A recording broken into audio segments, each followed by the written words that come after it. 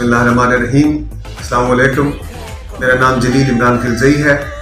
میں chief traffic officer Multan ہوں اور میں بطور چیف ٹریفک آفیسر ملتان اپنی طرف سے اور سٹی ٹریفک پولیس ملتان کے تمام جوانان اور افسران کی طرف سے اہلیان وطن اور اہلیان ملتان کو تیئیس مارچ کی مبارکباد پیش کرتا ہوں. تیئیس مارچ ہمیں قرارداد پاکستان کی یاد دلاتا ہے اور تیئیس مارچ ہمیں یاد دلاتا ہے کہ کیسے ہمارے بزرگوں نے اپنے وطن کے لیے جان کی اور دیگر قربانیاں دے کر اس خوبصورت وطن کو حاصل کیا۔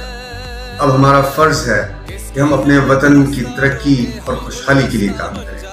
اور اس کے لیے ضروری ہے کہ ہم اپنے وطن کے قوانین پر عمل درآمد کریں اور بالخصوص ہم ٹریفک قوانین کو پر سختی سے عمل درآمد کریں۔